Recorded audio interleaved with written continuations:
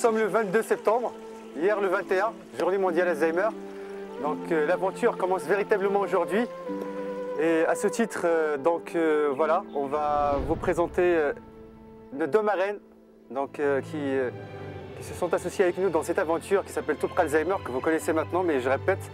Donc Madame Fabienne Piel nous a fait l'honneur de venir de France pour être marraine de l'opération. Donc je, vais lui laisser un petit mot rapidement.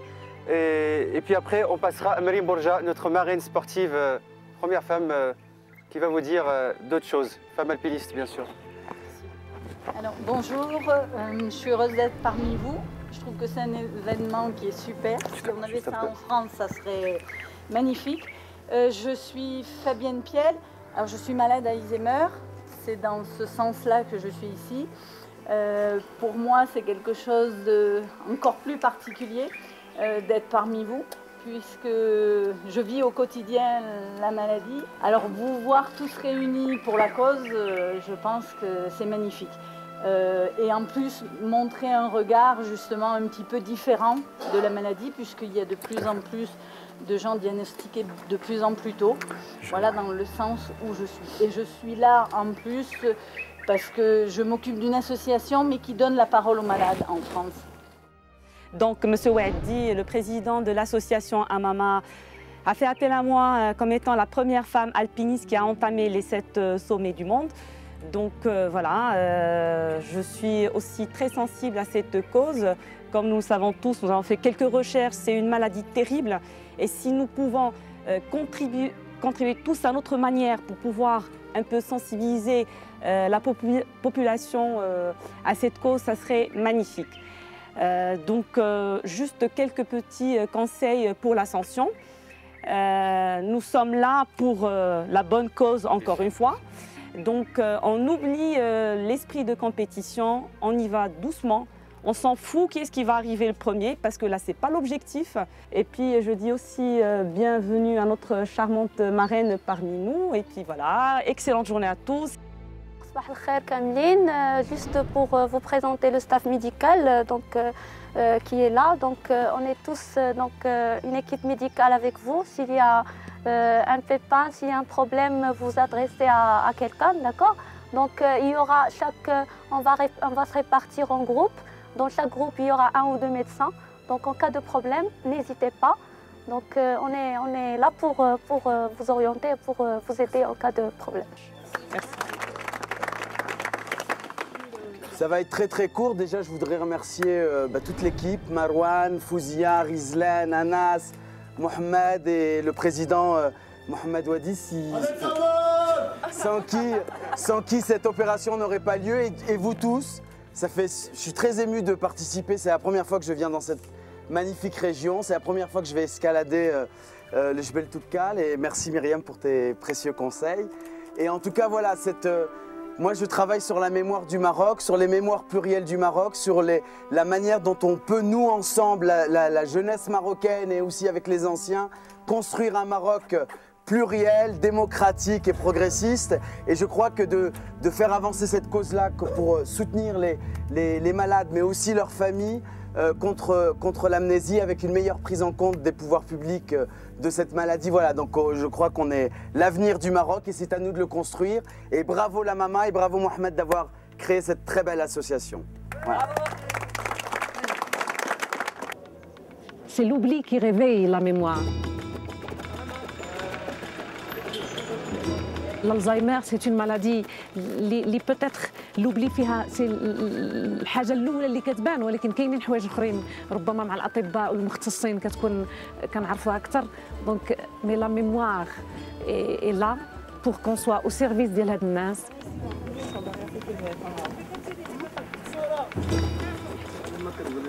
Ah ben pour le moment, ça va très bien. Je de la randonnée Hadi, je suis heureuse de découvrir le Maroc. J'espère que les gens qui vivent là, ils ont des écoles au moins ici, des hôpitaux ici, parce que vraiment, ça paraît que c'est pénible. Donc pour moi, les étudiants, pour euh, vraiment vaincre l'ignorance et pour qu'il y ait plus de conscience, de civisme et tout ça, au Maroc, il faut quand même installer les choses nécessaires ici.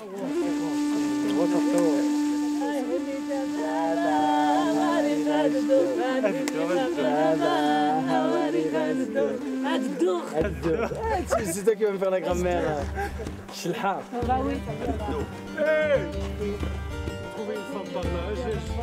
Cette montée de Toubkal, euh, vraiment, euh, personnellement, je, je- je l'ai vécu très bien et, euh, et- et vraiment dans, dans l'endurance physique et aussi dans, le, dans la découverte du paysage et en même temps la découverte des gens qui habitent ici, qui ont des conditions très difficiles.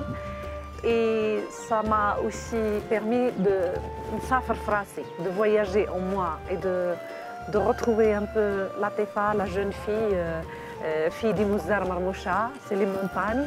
Mais là, Toubkal, euh, la plus haute montagne du- du- de, de- de- de- de l'Afrique du Nord. Donc, euh, venir ensemble avec la MAMA, l'association euh, des maladies euh, d'Alzheimer et maladies apparentées. Donc, on est là. Euh, je suis heureuse d'être parmi vous. Pourquoi Parce que آه، parler de l'Alzheimer c'est une maladie اللي في المغرب آه، الناس مازال ما حاسينش بانها راه آه، مرض اللي اللي اللي خطير ماشي خطير غير حيت آه، غادي يقتل ولا لا. خطير حيت اولا آه، كيقيس العائلات بزاف وما عارفينوش. بزاف الناس ما عارفينش شنو هو الزهايمر. عند بالهم مثلا ملي كيمرض شي واحد غير كينسى وصافي. ملي كيولي شوية اغريسيف مالو ولا هكا ما كيتفهموش بان هو راه مرض اللي كيقيس الأعصاب وكيقيس لي نورون أو ميم طون كيأثر على الحالة النفسية ديال هذاك المريض وكيأثر حتى على الحالة العائلية ديالو. لأنه يقدر ما يعقلش على عائلته ويقدر يخرج ويتلف يقدر.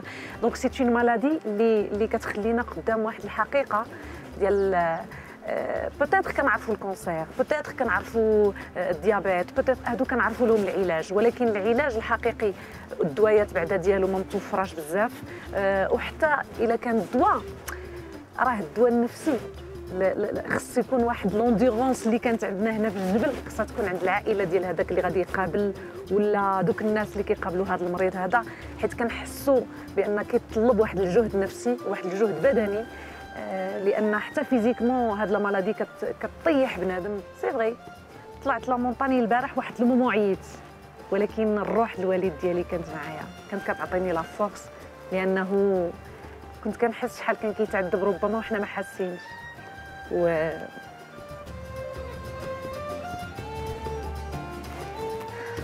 تبقى كبير ولكن كيبقى الحب ديالي لبا كبر دونك نقدر نطلع ليه Comment ça se passe Ça va. Pas trop fatigué On essaye de continuer. C'est la première fois en tout cas. C'est la première fois. Première fois au tout cas, la première fois une montée comme ça. D'accord. Comment vous avez rencontré la maman et pourquoi vous êtes ici Comment je l'ai rencontré Il y a au moins 4 ans. Je l'ai rencontré il y a 4 ans euh, parce qu'à Paris, euh, moi j'ai une association de jeunes malades et du coup il m'avait contacté parce que sa mère était jeune et du coup il a adhéré à l'association et du coup on fait un échange. Ce que je veux transmettre, c'est euh, regarder la maladie avec un autre regard et continuer à vivre. Essayer de faire vivre les gens le plus possible, le plus longtemps possible dans la société, leur faire faire des choses. Euh, même si des fois c'est parfois dur, mais continuer. Et les- plus touchés sont automatiquement l'entourage, puisque, étant donné que ça va être dans le quotidien. Certaines personnes peuvent passer une demi-journée avec moi, ne verront rien. Par contre, à partir du moment où ils passent deux, trois jours, c'est là que le poids va se faire ressentir. Parce que ça va être au niveau de la toilette, ça va être au niveau des repas, ça va être au niveau de la gestion de la maison. À un moment donné, on est automatiquement d'avoir de l'aide. Et puis, euh, la plupart du temps, nous malades, on ressent les effets de la maladie, mais on ne les explique pas et on ne peut pas toujours les exprimer. Alors le plus important, c'est l'entourage. C'est mettre en place le plus de choses possibles pour aider les personnes sans que ça soit trop pesant, mais il faut de l'aide. Alors au niveau du livre, je l'ai écrit euh, surtout pour faire partager justement ce, que le malade pouvait ressentir et en même temps faire savoir qu'on est toujours présent même quand on a nos absences. Et ça, euh, moi, c'était en même temps le faire partager à mes proches, ça leur a beaucoup appris, et le faire partager à d'autres personnes qui ont des proches malades. Euh, J'adore la culture du Maghreb, j'adore le contact des gens. Euh, je pense que nous, on a un peu perdu cet accueil hum, chaleureux qu'on retrouve au Maghreb. Le conseil que je leur donnerais, c'est euh, voir justement la vie du bon côté et voir qu'il y a toujours des petits moments de, bonheur, même dans le malheur, et que eh ben, y a toujours pire que la maladie d'Alzheimer. Euh, mes impressions, ben, content de voir que ben, ma mère tienne le coup, qu'elle soit là encore avec tout le monde. Et, content en fait de voir en fait, que la jeunesse marocaine soit impliquée dans, dans, ben, cette cause euh, qui, est, menée par Amama. Et je trouve ça vachement sympa parce que bon, beaucoup de jeunes aussi de France devraient prendre le même exemple comme, comme moi et beaucoup d'autres effectivement, euh, ben, la maladie, c'est quelque chose qu'en fait que l'on vit, qu'on ne voit pas des fois au premier abord, mais qu'en fait on, découvre, je veux dire, au fur et à mesure des jours. Et les craintes en fait en tant que proches euh, les, plus, les, plus, dures et les plus angoissantes seraient de, ben, que notre mère ne nous reconnaisse pas, par exemple, ou que ce soit votre grand-père ou qui que ce soit. Je pense que de toute façon, ça sera toujours très difficile. Donc, euh, ben, essayer de les aider, mais sans trop les assister pour qu'ils gardent en fait de l'autonomie, parce que c'est en fait en assistant les gens, en, se faisant assister qu'on perd les habitudes et qu'on n'arrive plus à effectuer les actions les plus simples parfois. Et donc, euh, ben, continuer à laisser faire un maximum de choses. Euh, c'est le principal, je pense.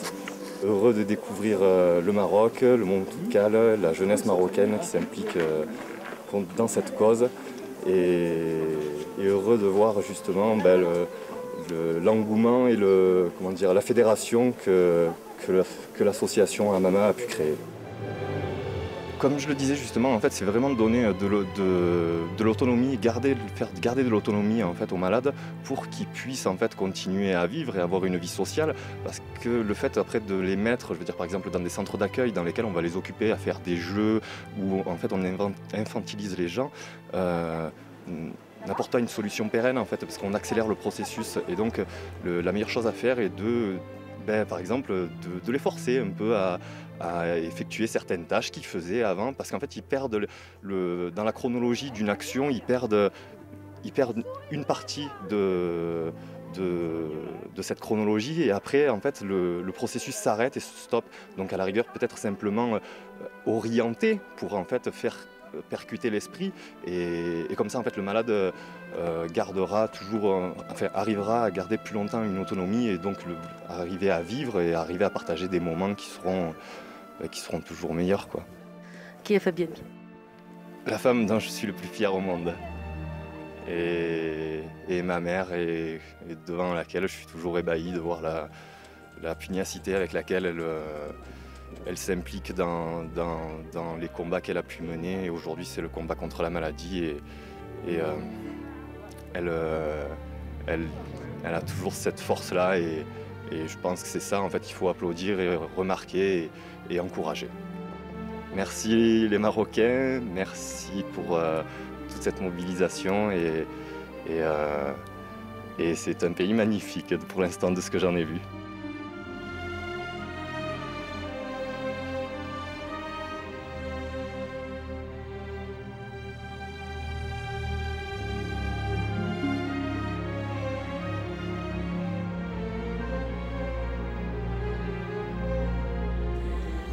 C'est super. C'est super. Une expérience extrême, c'est dur, c'est très dur. Mais euh, je trouve qu'il y a une super énergie entre tous les gens. Chacun, comment ça va, c'est pas trop dur, repose-toi, on se fait un thé dans les moments de repos et tout. Je trouve qu'il y a une très très bonne atmosphère dans tout. les paysages sont somptueux, les guides sont formidables une manière aussi de rentrer dans le Maroc encore plus,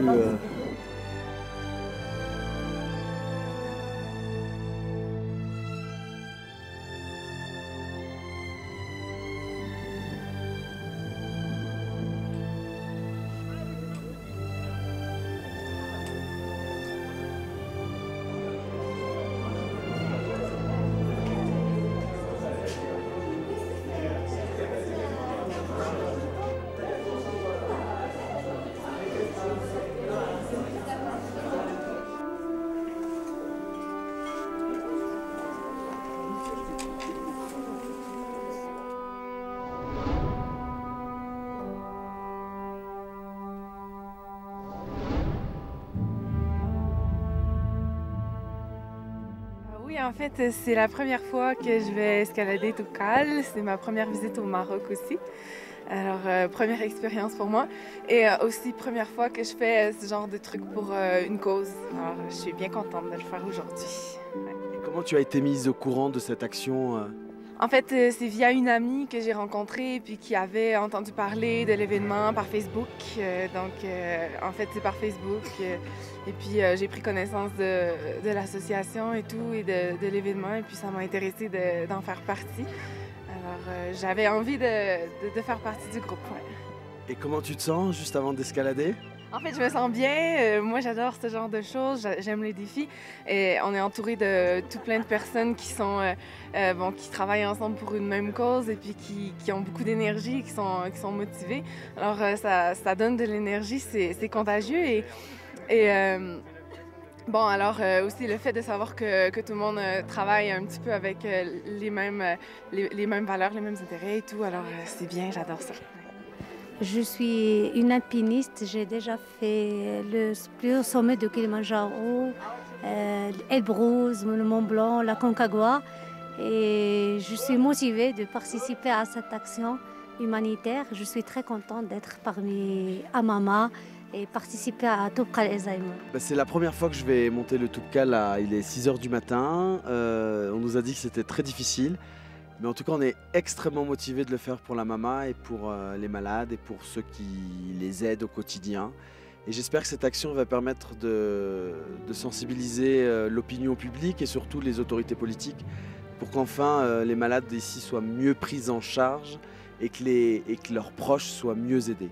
Donc voilà, c'est super, ça va être une expérience euh, extrême. Et donc on verra dans quel état je serai euh, tout à l'heure au retour. Ce sont effectivement deux journées intenses euh, autour de cette cause qui est la maladie d'Alzheimer. Donc on est, on est à quelques instants de ce qu'on appelle l'ascension contre l'oubli. Donc on entame la dernière étape. C'est l'étape la, plus difficile et je pense que, je pense que les participants ils vont vraiment assurer cette ascension déterminée. On est à peu près autour d'une soixantaine, ce qui est un record.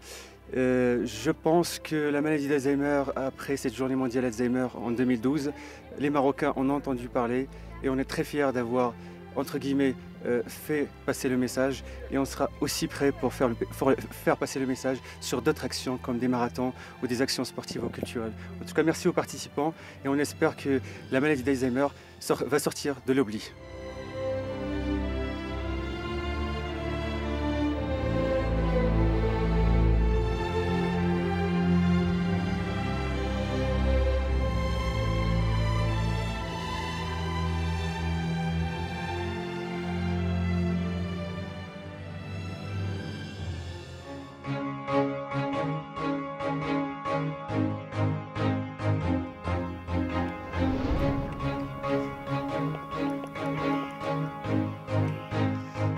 Vous êtes les premiers à arriver, comment vous vous sentez Oh, en forme. On est content euh, qu'on a pu réaliser ce challenge de Toubkal Alzheimer.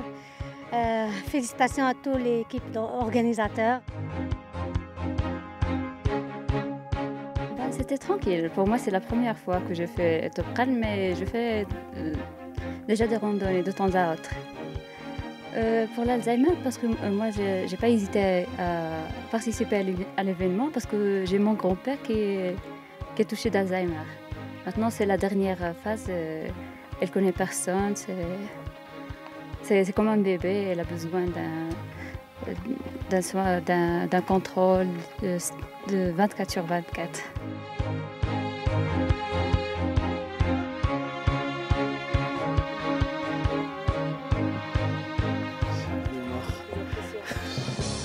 C'est mon sauveur.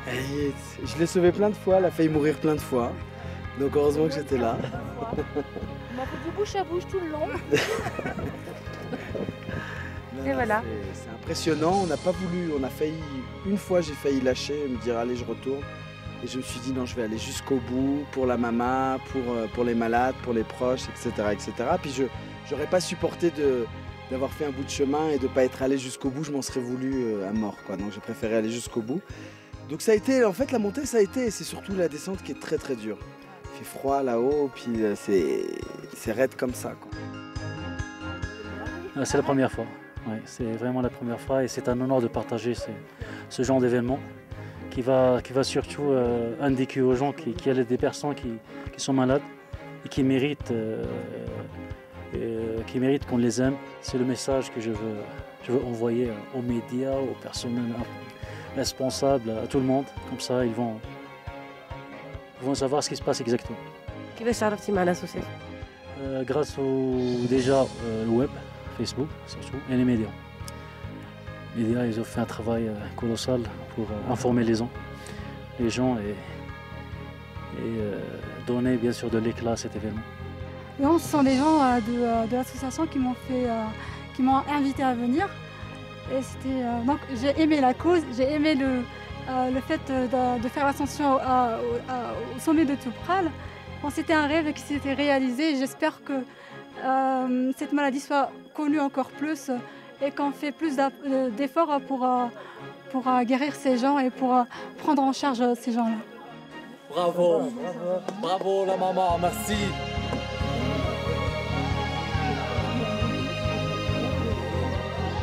Ce matin, au départ, j'étais très motivée et puis arrivé de nuit dans les cailloux et tout. À un moment donné, hmm, je suis montée, mais après je suis redescendue. C'était plus raisonnable, je pense. J'avais un point sur le côté et puis j'ai laissé les jeunes continuer. Tant qu'à faire. je pense qu'ils l'ont fait, ils étaient très motivés, hmm, malgré la fatigue. Et puis moi je dirais, eh ben, on l'oubliera pas, cette ascension. moi non plus, j'espère.